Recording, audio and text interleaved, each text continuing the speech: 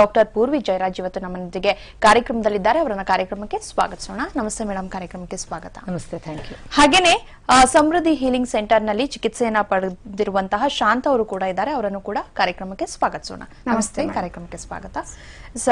ಈಗ ಹೇಳಿದಂಗೆ ಹೇಳ್ದಂಗೆ ಆರೋಗ್ಯ ಸಮಸ್ಯೆ ಸಾಕಷ್ಟು ಜನರಿಗೆ ಇರುತ್ತೆ. ಬಟ್ ಈಗ ಯಾವ ರೀತಿ ಸಮೃದ್ಧಿ ಹೀಲಿಂಗ್ ಸೆಂಟರ್ನಲ್ಲಿ ಚಿಕಿತ್ಸೆಯನ್ನ ಕೊಡ್ಲಾಗತ್ತೆ? ಸೊ ಯಾವ ರೀತಿ ಆರೋಗ್ಯ ಸಮಸ್ಯೆಗಳಿಗೆ ಚೇತರಿಕೆಯನ್ನ ಕಂಡುಕೊಳ್ಬಹುದು? ಇದ್ರ ಬಗ್ಗೆ ಒಂದು ಇಂಟ್ರೊಡಕ್ಷನ್ ವಿಡಿಯೋ ಇದೆ. ಬನ್ನಿ ನೋಡೋಣ. ಈ ಜೀವನ ಸುಂದರ, ಆರೋಗ್ಯಕರ ಜೀವನ, ಜೀವನದ ಅವಶ್ಯಕತೆ. ಮಾನಸಿಕ ಸ್ಥೀಮಿತವನ್ನ ಹೆಚ್ಚಿಸಿಕೊಳ್ಳಲು ಇದು ಸಹಕಾರಿ. ಅಷ್ಟೇ ಅಲ್ಲ, ನಿಮ್ಮ ದೇಹ ಮತ್ತು ಆತ್ಮಕ್ಕೆ ಉತ್ತೇಜನ ಕೊಡುವುದೇ ಆರೋಗ್ಯಕರ ಜೀವನ.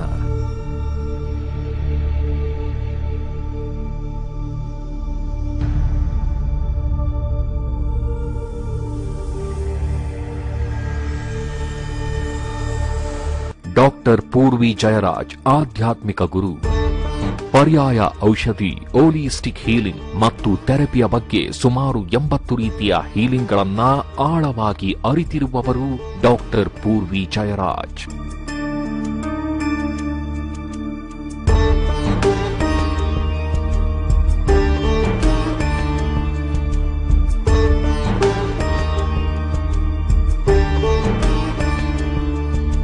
ಇವರು ಔಷಧರಹಿತ ಚಿಕಿತ್ಸೆಗಳ ಬಗ್ಗೆ ಹೆಚ್ಚಿನ ಸಂಶೋಧನೆಯನ್ನ ಮಾಡುತ್ತಾ ವಿಶ್ವದಾದ್ಯಂತ ಇದರ ಕಾರ್ಯಗಳನ್ನ ನಡೆಸಿದ್ದಾರೆ. ಸಮೃದ್ಧಿ ಔಷಧರಹಿತ ಚಿಕಿತ್ಸೆಯಿಂದ ಬಹಳಷ್ಟು ಜನರ ಜೀವನವನ್ನ ಬದಲಿಸುವತ್ತ ಯಶಸ್ಸು ಕಂಡಿದೆ.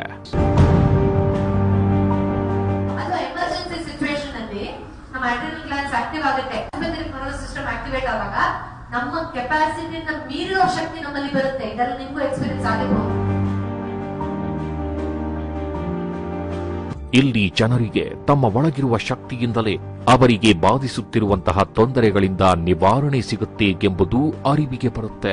ಎಲ್ಲ ಕಡೆ ಹೋಗಿ ಏನೇ ಅದು ಪ್ರಯತ್ನ ಆಗಲಿಲ್ಲ.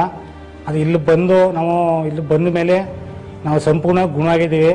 ಅದು ಸಮೃದ್ಧಿ ಸೆಂಟಿಂಗ್ ನಮಗೆ ಒಳ್ಳೆಯದಾಗಿದೆ ಅವರಿಗೆ ಡಾಕ್ಟರ್ ಪೂರ್ವಿ ಅವರಿಗೆ ನನ್ನ ಮತ್ತು ಸಮೃದ್ಧಿ ಸೆಂಟರ್ ಸೆಂಟರ್ಗೆ ನನ್ನ ಅಭಿನಂದನೆಗಳು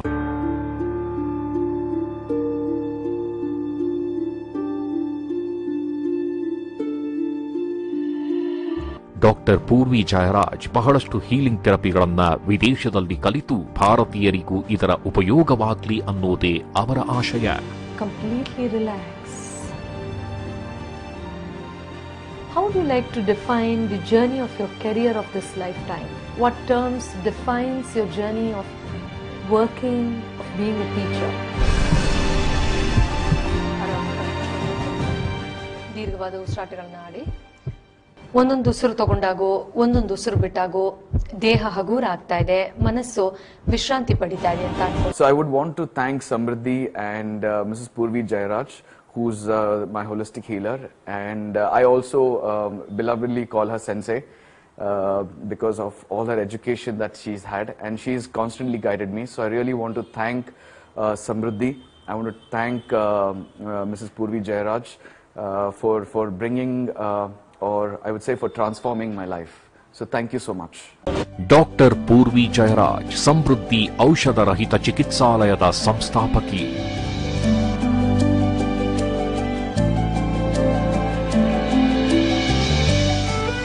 ಸಾವಿರಾರು ಸಂಖ್ಯೆಯಲ್ಲಿ ಜನರು ಇಲ್ಲಿ ತಮ್ಮ ಅನಾರೋಗ್ಯಕ್ಕೆ ಪರಿಹಾರವನ್ನ ಕಂಡುಕೊಂಡಿದ್ದಾರೆ.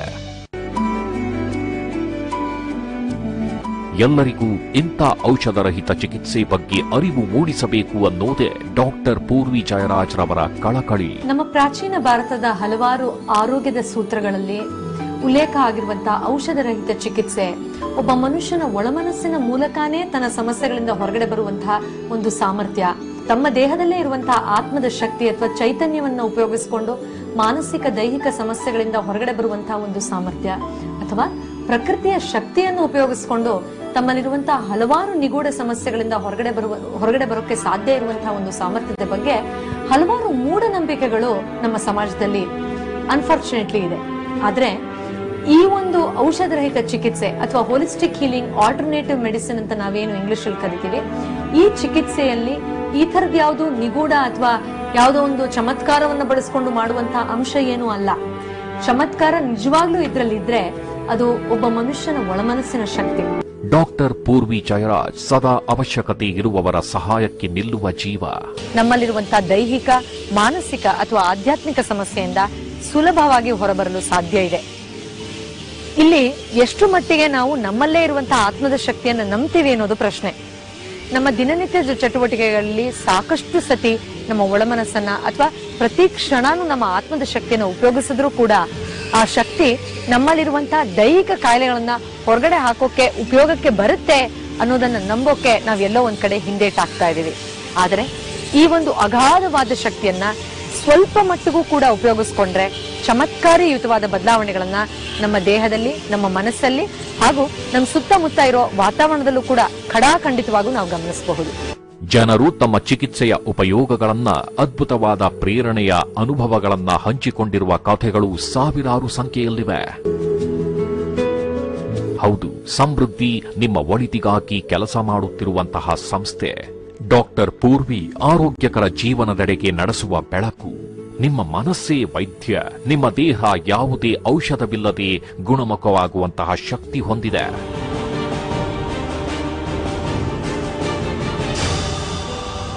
ಅದ್ಭುತವಾದ ಆರೋಗ್ಯಕರ ಜೀವನಕ್ಕೆ ಖುಷಿಭರಿತ ಜೀವನಕ್ಕೆ ನಿಮ್ಮೆಲ್ಲರಿಗೂ ಸ್ವಾಗತ.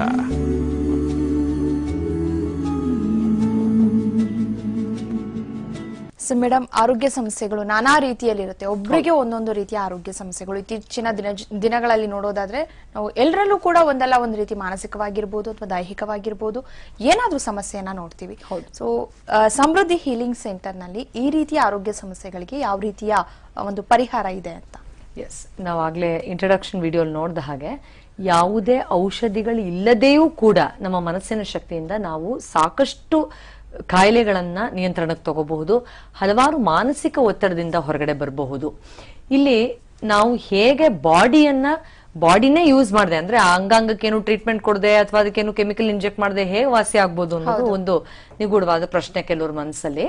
ನಾವು ಒಂದು simple basic principles of health ನಾವು ಅರ್ಥ ಮಾಡ್ಕೊಂಡ್ರೆ every emotion every thought every feeling ನಮ್ದು ಒಂದೊಂದು ಭಾವನೆ, ಒಂದೊಂದು ಆಲೋಚನೆ, ಒಂದೊಂದು ಮನಸ್ಥಿತಿ, ಎಲ್ಲವೂ ನಮ್ಮ ದೇಹವನ್ನು ಇನ್ಫ್ಲುಯೆನ್ಸ್ ಮಾಡುತ್ತೆ. ಇದನ್ನು ಎರಡು ರೀತಿ ನಾವು ಅರ್ಥ ಮಾಡ್ಕೋಬಹುದು ಒಂದು ಫಿಸಿಕಲಿ ಅಂದ್ರೆ ಒಂದು ಥಾಟ್ ಒಂದು ಫೀಲಿಂಗ್ ಬಂದಾಗ ನಮ್ಮ ಮೆದುಳಲ್ಲಿ ಕೆಲವೊಂದು ಬಯೋಕೆಮಿಕಲ್ ರಿಯಾಕ್ಷನ್ಸ್ ಕಾಸ್ ಆಗುತ್ತೆ. ಆ reactions scientifically proven fact that ಕೆಲವೊಂದು ಕೆಮಿಕಲ್ ಸಿಗ್ನಲ್ಸ್ ನಮ್ಮ ಬಾಡಿಗೆ ರಿಲೀಸ್ ಮಾಡುತ್ತೆ. ಅದು ಸ್ಟ್ರೆಸ್ ಹಾರ್ಮೋನ್ಸ್ ಮೂಲಕ ಇರಬಹುದು ಇನ್ನೊಂದಿರಬಹುದು ಮತ್ತೊಂದಿರಬಹುದು ಇದು ಸತತವಾಗಿ ಬಂಬಾರ್ಡ್ ಆಗ್ತಾ ಇದ್ರೆ ನಮ್ಮ ದೇಹದಲ್ಲಿ. ಅಂದ್ರೆ ಮತ್ತೆ ಮತ್ತೆ ಈ ತರದ ಒಂದು ಉದ್ವೇಗದ ಪರಿಸ್ಥಿತಿ ಅಥವಾ ಭಾವನಾತ್ಮಕವಾಗಿ ಒತ್ತಡ ಕ್ರಿಯೇಟ್ ಆಗ್ತಾ ಇದ್ರೆ ಅಂಗಾಂಗಗಳ ಸ್ಥಿತಿಗತಿಯನ್ನ ಹಾನಿ ಮಾಡೋ ಸಾಧ್ಯತೆಗಳಿದೆ. ಇದು ಫಿಸಿಕಲ್ ಲೆವೆಲ್ ಅಲ್ಲಿ ಆಯ್ತು. ಇನ್ನು ಎನರ್ಜೆಟಿಕಲಿ ಪ್ರತಿ ಒಂದು ಇಮೋಷನ್ ಪ್ರತಿ ಒಂದು ಭಾವನೆಗೂ ಒಂದೊಂದು ಎನರ್ಜಿ ಇಂಪ್ಯಾಕ್ಟ್ ನಮ್ಮಲ್ಲಿ ಆಗುತ್ತೆ.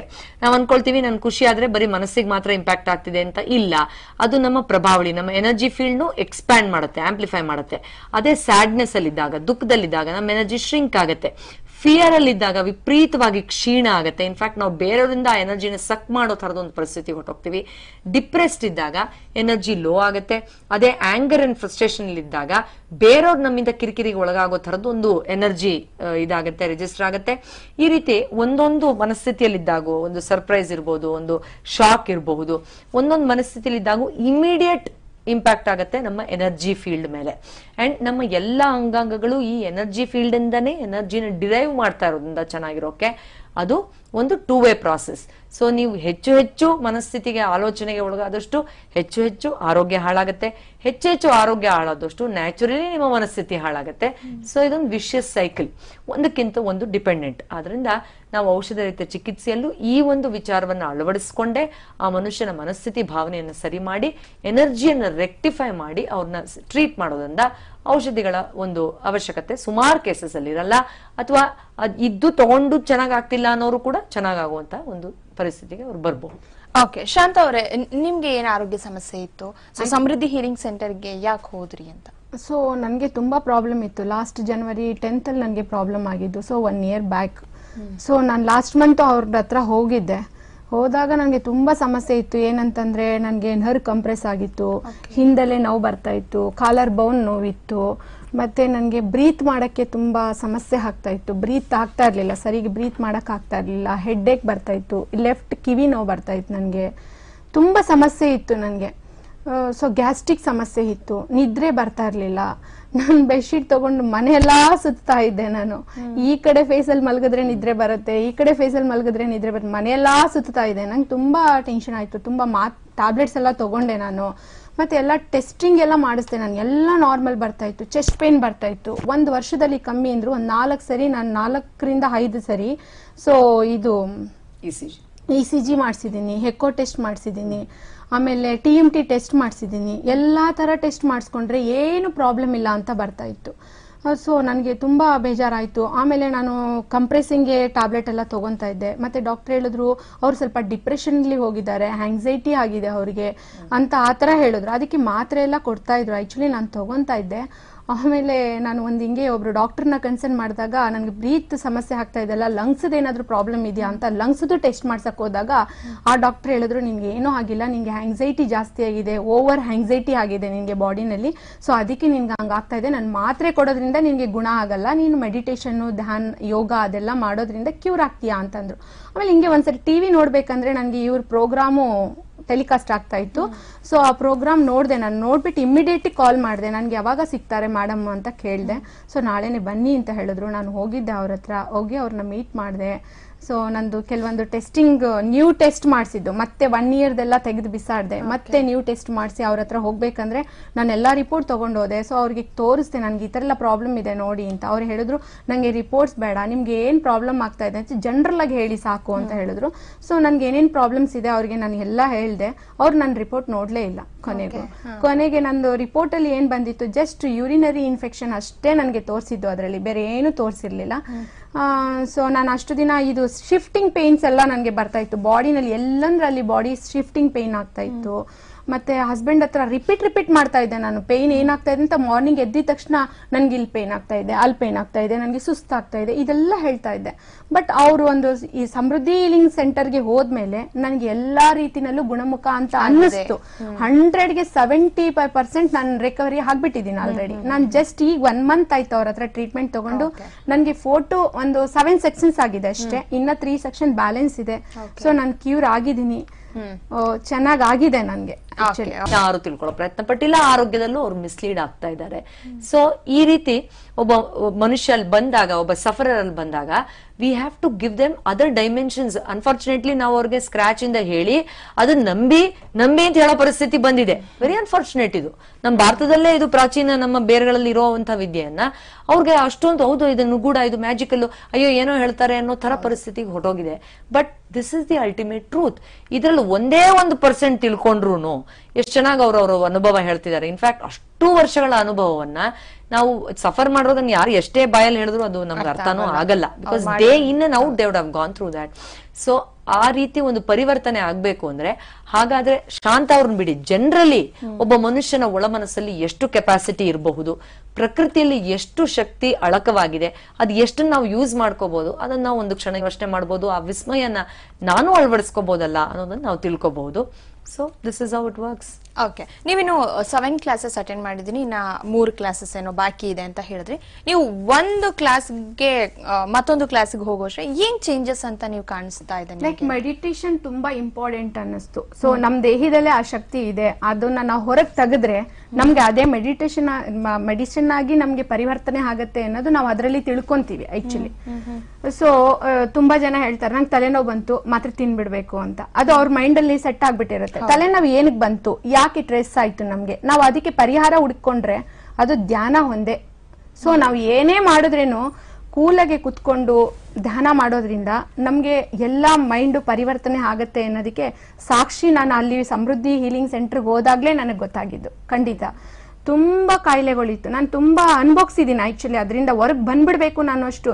ಮತ್ತೆ ನನಗೆ ಕೆಟ್ಟ ಫೀಲ್ ಆಗ್ತಾ ಇತ್ತು. ಯಾವ ತರ ಅಂದ್ರೆ ತುಂಬಾ ನೆಗೆಟಿವ್ ಥಾಟ್ಸ್ ನಾನು ಬದುಕಲ್ಲ. ನಾನು ಬದುಕಲ್ಲ. ಇದು ಒಂದೇ ನನಗೆ ಕಾಡ್ತಾ ಇದ್ದಿದ್ದು. ನಾನು ಮೇಡಮ್ ಹತ್ರ ಹೇಳಿದೆ ಯಾಕೆ ನನಗೆ ಈ ತರ ಎಲ್ಲ ಫೀಲ್ ಆಗ್ತಾ ಇದೆ? ನನಗೆ ಏನಂತ ಇದ್ದಿದ್ದಂದ್ರೆ ನಾನು ಫಸ್ಟ್ ಇದರಿಂದ ಏನ್ ನಾನು ಈ ಒಳಗಡೆ ಕುತ್ಕೊಂಡ್ಬಿಟ್ಟು ಒದ್ಲಾಡ್ತಾ ಇದ್ದೀನಿ. ಗೂಡಲ್ಲಿ ಒಂದು ಗುಬಚ್ಚಿ ಸೇರ್ಕೊಂಡ್ಬಿಟ್ರೆ ಅದು ಬರ್ಲಿಕ್ಕೆ ಹೊರಗಡೆ ಎಷ್ಟು ಒದ್ಲಾಡುತ್ತೆ ಅಷ್ಟು ಒದ್ಲಾಡ್ತಾ ಇದೆ ನಾನು ಈ ಒಂದು ಆಂಗ್ಸೈಟಿ ಇದರಿಂದೆಲ್ಲ ತುಂಬಾ ಸ್ಟ್ರೆಸ್ ಇದೆಲ್ಲದ್ರಿಂದ ಒದ್ಲಾಡ್ತಾ ಇದೆ. ಅದರಿಂದ ಹೊರಗಡೆ ಬೇಗ ಬರ್ಬೇಕಂತ ಇಷ್ಟು ಬೇಗ ನಾನು ಕ್ಯೂರ್ ಆಗಿದ್ದೀನಿ ಇಷ್ಟು ಬೇಗ ನಾನು ಹೇಳ್ತಾ ಇದ್ದೀನಿ ಅಂದ್ರೆ ನೋಡೋರು ಅದನ್ನ ಅಳವಡಿಸ್ಕೊಬೇಕು. ಎಲ್ಲಾರ್ಗೆ ಇರುತ್ತೆ. ಆಂಗ್ಸೈಟಿ ಅನ್ನೋದು ಎಲ್ಲಾರ್ಗೂ ಇರುತ್ತೆ. ಅದು ಜಾಸ್ತಿ ಪ್ರಮಾಣದಲ್ಲಿ ಆದಾಗ ಏನೆಲ್ಲ ಆಗುತ್ತೆ ನಮ್ಮ ಬಾಡಿನಲ್ಲಿ? ಆ ಸ್ಟ್ರೆಸ್ ಇಂದ. ಮತ್ತೆ ನಮ್ಗೆ ಇವ್ರ ಸೆಂಟರ್ ಬಂದಾಗ್ಲೇ ನನಗೆ ಗೊತ್ತಾಯ್ತು. ಸೆವೆನ್ ಚಕ್ರಾಸ್ ಇದೆ. ಆ ಚಕ್ರಗಳು ಯಾವ್ಯಾವ ತರ ವರ್ಕ್ ಆಗುತ್ತೆ ನಮ್ಮ ಬಾಡಿನಲ್ಲಿ ಅಂತ. ನನ್ಗೆ ಅವ್ರು ಏನೋ ಒಂದು ಸ್ಕ್ಯಾನ್ ಮಾಡಿದಾಗ ತೋರಿಸಿದ್ರು. ನಾನು ಅನ್ಕೊಂಡೆ ಇದು ಹೆಂಗೆ ಗೊತ್ತಾಗ್ಬಿಡತ್ತೆ ಇವರಿಗೆ ಅಂತ. ನಾನು ಬಂದು ಹೋಗಿ ಅವರು ಕರ್ಕೊಂಡು ಹೋದ್ರು ಸೊ ಒಂದು ಏನೋ ಸ್ಕ್ಯಾನ್ ಮಾಡಿದ್ರು. ಬೆರಳುಗಳನ್ನ ಸ್ಕ್ಯಾನ್ ಮಾಡ್ತಾರೆ. ನಮ್ದು ಫಿಂಗರ್ಸ್ ಸ್ಕ್ಯಾನ್ ಮಾಡ್ತಾರೆ. ಆ ಫಿಂಗರ್ಸ್ ಇಂದ ಗೊತ್ತಾಗುತ್ತೆ ಚಕ್ರಗಳು ಬ್ಯಾಲೆನ್ಸ್ ಹೆಂಗೆ ತಪ್ಪಿದೆ ಅಂತ. ಸೊ ನಾನು ಅವ್ರ ಹತ್ರ ಡಿಸ್ಕಷನ್ ಮಾಡಿದಾಗ ನಾನು ಹೇಳ್ದೆ ನನ್ಗೆ ಈ ತರ ಎಲ್ಲ ಪ್ರಾಬ್ಲಮ್ ಆಗ್ಬಿಟ್ಟಿದೆ ಏನ್ ಮಾಡ್ಬೇಕು? ಮತ್ತೆ ನನ್ಗೆ ಯೂರಿನರಿ ಇನ್ಫೆಕ್ಷನ್ ಆಗಿದೆ ಅಂತ ನಾನು ಅವ್ರ ಹತ್ರ ಚರ್ಚೆ ಚರ್ಚೆ ಮಾಡಿದೆ ನಾನು. ಸೊ ಅವ್ರು ಹೇಳಿದ್ರು ನೀವು ಇದಕ್ಕೆ ಒಂದು ಟೆಸ್ಟ್ ಮಾಡಿಸ್ಬೇಕು. ಅದು ಬಂದ್ಬಿಟ್ಟು ಯೂರಿನರಿ ಇನ್ಫೆಕ್ಷನ್ಗೆ ಒಂದು ಕಲ್ಚರ್ ರಿಪೋರ್ಟ್ಸ್ ಅಂತ ಮಾಡಿಸ್ತಾರೆ. ಅದು ಮಾಡಿಸಿ ಮತ್ತೆ ಆಂಟಿಬಯೋಟಿಕ್ ಸ್ಟಾರ್ಟ್ ಮಾಡ್ಕೊಳ್ಳಿ ನೀವು. ಯಾಕೆಂದರೆ ನಿಮಗೆ ಥೆರಪಿ ಮಾಡಕ್ಕೆ ಇನ್ನ ಲೇಟ್ ಆಗುತ್ತೆ ಇನ್ನೂ ಒಂದು ವೀಕ್ ಆಗುತ್ತೆ. ಸ್ಟಾರ್ಟ್ ಮಾಡಿ ಇಲ್ಲಿಗೆ ಬರೋಷ್ಟೊಳಗೆ ನೀವು ಸ್ಟಾರ್ಟ್ ಮಾಡ್ಕೊಳ್ಳಿ ಅಂತ ಹೇಳಿಬಿಟ್ಟು ಮತ್ತೆ ಅವ್ರು ಏನಂದ್ರು ಗೊತ್ತಾ? ನಿಮಗೆ ನನಗನ್ಸುತ್ತೆ ನಿಮಗೆ ಯಾವುದು ಯೂರಿನರಿ ಇನ್ಫೆಕ್ಷನ್ ಆಗಿರಲ್ಲ ಯಾವುದು ಬ್ಯಾಕ್ಟೀರಿಯಾಸ್ ಇರಲ್ಲ ಮೇ ಬಿ ನಿಮಗೆ ಮನಸ್ಥಿತಿ ಸರಿ ಇಲ್ಲದೇನೆ ಸೊ ನಿಮ್ಮದು ಏನು ಇಮ್ಯುನಿಟಿ ಕಳ್ಕೊಂಡಿರೋದ್ರಿಂದ ನಿಮ್ಗೆ ಈ ತರ ಆಗಿರ್ಬಹುದು ಅಂತ ಅವ್ರು ಹೇಳಿದ್ರು. ಸೊ ನಾನು ಇದೊಂದು ಟೆಸ್ಟ್ ಮಾಡಬೇಕಲ್ಲ ಅಂದ್ಬಿಟ್ಟು ನನ್ನ ಕಲ್ಚರ್ ರಿಪೋರ್ಟ್ ಬಂತು. ಸೊ ಅದರಲ್ಲಿ ಬಂದಾಗ ನೋ ಬ್ಯಾಕ್ಟೀರಿಯಾಸ್ ಸೊ ಗ್ರೋತ್ ಇಲ್ಲ ಅದು. ಯಾವುದು ಬ್ಯಾಕ್ಟೀರಿಯಾಸ್ ಗ್ರೋತ್ ಆಗಿಲ್ಲ. ಸೊ ನನ್ಗೆ ಅನ್ನಿಸ್ತು ಪೂರ್ವಿ ಜಯರಾಜ್ ಅವ್ರು ಹೇಳಿದ್ದು ಖಂಡಿತ ಸತ್ಯ. ನಾನು ಅವ್ರ ಹತ್ರ ಹೋಗಬೇಕು ನಾನು ಅವ್ರ ಹತ್ರ ಮೆಡಿಸನ್ ತಗೊಬೇಕು. ಬಂದೆ ತಗೊಂಡೆ. ಸೊ ಅವ್ರು ಒಂದು ಒಂದೊಂದು ಮಾತು ನಮ್ಮ ಒಳ ಮನಸ್ಸಿನಿಂದ ತೆಗಿತಾರೆ ಅವರು. ಒಂದೊಂದು ನಮ್ದು ಏನೇ ನೋವ್ಸ್ ಇದೆ ನೋವು ಆಗಿದೆ ನಮ್ಮ ಚೈಲ್ಡ್ಹುಡ್ ಇಂದ ಇರ್ಬೋ ಇರ್ಬೋದು. ಅಥವಾ ನಮ್ಮ ಮ್ಯಾರೇಜ್ ಆದ್ಮೇಲೆ ನಮ್ಮ ಮಗು ಹುಟ್ಟಿ ಹುಟ್ಟಿದ ಮೇಲೆ ಲೈಕ್ ಯಾವ ಯಾವ ಸ್ಟೇಜಲ್ಲಿ ನಮ್ಗೆ ಯಾವ ತರ ತೊಂದರೆ ಆಗಿದೆ ಆ ಒಂದು ಒಳ ಮನಸ್ಸಿಂದ ಅವರು ನಮ್ಮನ್ನ ಅವ್ರಿಗೆ ಕನೆಕ್ಟ್ ನಮ್ಮ ಮನಸ್ಸಿಗೆ ಕನೆಕ್ಟ್ ಮಾಡ್ತಾ ಹೋಗ್ತಾರೆ. ನಮ್ದು ಒಂದೊಂದು ಥಾಟ್ಸ್ನ ತೆಗಿತಾರೆ. ನಮ್ಗೆ ಎನರ್ಜಿ ಕೊಡ್ತಾರೆ. ಸೊ ಆ ಎನರ್ಜಿಯಿಂದ ನಿಜವಾಗ್ಲೂ ಹೇಳ್ತೀನಿ ನನ್ಗೊಂದು ಕೀ ಹಿಡಿಯೋಷ್ಟು ಶಕ್ತಿ ಇರ್ಲಿಲ್ಲ. ನಾನು ಅವ್ರ ಹತ್ರ ಬಂದಾಗ ತುಂಬಾ ಸುಸ್ತು ಪಡ್ತಾ ಇದ್ದೆ. ಮನೆಯಲ್ಲಿ ಮಗುಗೆ ಸ್ಕೂಲ್ಗೆ ರೆಡಿ ಮಾಡಿ ಕಳಿಸ್ಬಿಟ್ರೆ ಮಲ್ಕೊಂಡ್ಬಿಡ್ಬೇಕು ಅನ್ನೋಷ್ಟು ನನಗೆ ಸೋಂಬೇರಿತನ ಜಾಸ್ತಿ ಇತ್ತು. ಸುಸ್ತಾಗ್ತಾ ಇತ್ತು ಬಾಡಿ ಇವಾಗ ನಾನು ಕರೆಕ್ಟಾಗಿ fifteen days so one month ಆಯ್ತು ಅವ್ರ ಹತ್ರ ಹೋಗಿ. ಫಿಫ್ಟೀನ್ ಡೇಸ್ ಇಂದ ನನ್ಗೆ ಯಾವುದೇ ಸುಸ್ತು ಕಾಣಿಸ್ತಾ ಇಲ್ಲ. ಖಂಡಿತ ಯಾರೇ ಪ್ರೇಕ್ಷಕರು ಇದನ್ನ ನೋಡ್ತಾ ಇದ್ರೆ ಇದು ಯಾವ್ದು ಮ್ಯಾಜಿಕ್ ಅಲ್ಲ ಅವ್ರು ಏನೋ ಒಂದು ನಮ್ಗೆ ಏನೋ ಒಂದು ಜೂಮ್ ಜೂಮ್ ಅಂತ ಏನೋ ಒಂದು ಮಾಡಿ ಕಳಿಸ್ಬಿಡ್ತಾರೆ. ಆ ತರ ಏನು ನಡೆಯಲ್ಲ ಅಲ್ಲಿ. ಯಾವ ತರ ಒಂದು ಮ್ಯಾಜಿಕ್ ಇಲ್ಲ. ನಮ್ಮ ಮನ್ಸಿಂದ ನಮ್ಮನ್ನ ಸರಿಪಡಿಸ್ತಾರೆ ಅವರು. ಸೊ ಅವ್ರು ಕೊಡೋ ಧ್ಯಾನಗಳಿದೆಯಲ್ಲ ಆ ಧ್ಯಾನ ಮೆಡಿಟೇಷನ್ ನಾವು ಮಾಡ್ತಾ ಹೋಗ್ತಾ ಇದ್ರೆ ಸೊ ಹಂಡ್ರೆಡ್ ಪರ್ಸೆಂಟ್ ಇಂಪ್ರೂವ್ ಆಗ್ತೀವಿ. ಅವ್ರು ಇನ್ನೇನು ಹೇಳ್ಕೊಡಲ್ಲ ನಮಗೆ. ನಾವು ಮೆಡಿಟೇಷನ್ ಯಾವ ಥರ ಮಾಡಬೇಕು, ಅದರಿಂದ ನಾವು ಹೆಂಗೆ ಯೂಸ್ ಮಾಡ್ ಅದನ್ನ ನಾವು ಅಳವಡಿಸ್ಕೊಂಡ್ರೆ ನಮ್ಮ ಲೈಫಲ್ಲಿ ನಾವೆಷ್ಟು ಉನ್ನತ ಮಟ್ಟಕ್ಕೆ ಹೋಗ್ತೀವಿ ಅನ್ನೋದು, ಅಂದರೆ ಹೆಲ್ತಿ ಹೆಲ್ತಿ ಬಗ್ಗೆ ತಗೊಂಡಾಗ ಮನುಷ್ಯಂಗೆ ನೋಡಿ ದುಡ್ಡು ಇವತ್ತಿರುತ್ತೆ ನಾಳೆ ಹೋಗ್ಬಿಡತ್ತೆ. ಲೈಕ್ ನಮ್ಮ ಆರೋಗ್ಯ ಇದ್ರೆ ನಾವ್ ಎಷ್ಟು ಬೇಕಂದ್ರೆ ಸಂಪಾದನೆ ಮಾಡ್ಬೋದು ಮತ್ತೆ ಬೇರೆಯವ್ರಿಗೆ ಬೈಬಾರ್ದು ನಾವು ನಾವು ನೆಗೆಟಿವ್ ಆಗಿ ಮಾತಾಡಬಾರ್ದು ಅದನ್ನೆಲ್ಲ ನಾನು ಅಲ್ಲಿ ಬಂದ್ಮೇಲೆ ಕಲ್ತೆ. ಇದನ್ನ ನಾನು ಯಾವ ಲೆಸನ್ ಅಲ್ಲೂ ಓದಿಲ್ಲ ಮೇಡಮ್ ನಾನು ಇಲ್ಲಿ ಬಂದ್ಮೇಲೆ ಕಲ್ತಿದ್ದು. ನಿಜವಾಗ್ಲೂ ಹೇಳ್ತೀನಿ ಸ್ಕೂಲಲ್ಲಿ ಇದೊಂದನ್ನ ಎಲ್ಲಾ ಕಡೆ ಅಳವಡಿಸ್ಬೇಕು. ಇದೊಂದು ಪಠ್ಯ ಪುಸ್ತಕದಲ್ಲಿ ಒಂದು ಹೆಂಗೆ ಇವಾಗ ಹಿಸ್ಟ್ರಿ ಕನ್ನಡ ಸೋಷಿಯಲ್ ಸಬ್ಜೆಕ್ಟ್ ಆಗ್ಬೇಕು. ಇದು ಆದಾಗ ನಮ್ಮ ನವ ಯುವ ಪೀಳಿಗೆ ಏನಿದೆ ಅದು ಮೂಢನಂಬಿಕೆಯಿಂದ ಹೊರಗೆ ಬರ್ತಾರೆ. ಈ ಕೆಮಿಕಲ್ಸ್ಗೆ ಏನ್ ನಮ್ದು ಅಡಿಕ್ಟ್ ಆಗಿರುತ್ತೆ ಬಾಡಿ ಅದರಿಂದ ನಾವು ಹೊರಗೆ. ಬರ್ಲಿಕ್ಕೆ ತುಂಬಾ ಹೆಲ್ಪ್ ಆಗುತ್ತೆ. ಖಂಡಿತ ಎಲ್ಲಾರು ಯೂಸ್ಫುಲ್ ಮಾಡ್ಕೊಬೇಕಂತ ನಾನು ಹೇಳ್ತೀನಿ. ಓಕೆ ಓಕೆ ಮೇಡಮ್ ಇವತ್ತಿನ ಕಾರ್ಯಕ್ರಮದಲ್ಲಿ ಆರೋಗ್ಯ ಸಮಸ್ಯೆಗೆ ಹೀಲಿಂಗ್ ಥೆರಪಿ ಮೂಲಕ ಎಷ್ಟು ಯೂಸ್ಫುಲ್ ಇದೆ ಅನ್ನೋದನ್ನ ಸಂಪೂರ್ಣವಾಗಿ ತಿಳಿಸ್ಕೊಟ್ಟಿದ್ದೀರಾ. Thank you so much thank you ನಿಮ್ಮ ಎಕ್ಸ್ಪೀರಿಯನ್ಸ್ ಹೇಳಿದಕ್ಕೆ ಸೊ ವೀಕ್ಷಕರೇ ನೀವು ಕೂಡ ಸಮೃದ್ಧಿ ಹೀಲಿಂಗ್ ಸೆಂಟರ್ಗೆ ವಿಸಿಟ್ ಮಾಡಬಹುದು. ಅಡ್ರೆಸ್ ಈ ರೀತಿ ಇದೆ. Samruddhi healing centre number fifteen ಮೊದಲ ಮಹಡಿ ಏಟಿ ಫೀಟ್ ರಸ್ತೆ. ಒಂದನೇ block Koramangala, Bengaluru five six triple zero one ಸಂಪರ್ಕಿಸಿ ಒಂಬತ್ತು ಒಂಬತ್ತು, ಎಂಟು ಸೊನ್ನೆ, ಮೂರು ಸೊನ್ನೆ, ಎರಡು ಆರು, ನಾಲ್ಕು ಒಂದು. ಒಂಬತ್ತು ಐದು, ಮೂರು ಐದು ಐದು ಐದು, ಮೂರು ಏಳು, ಒಂದು ಏಳು.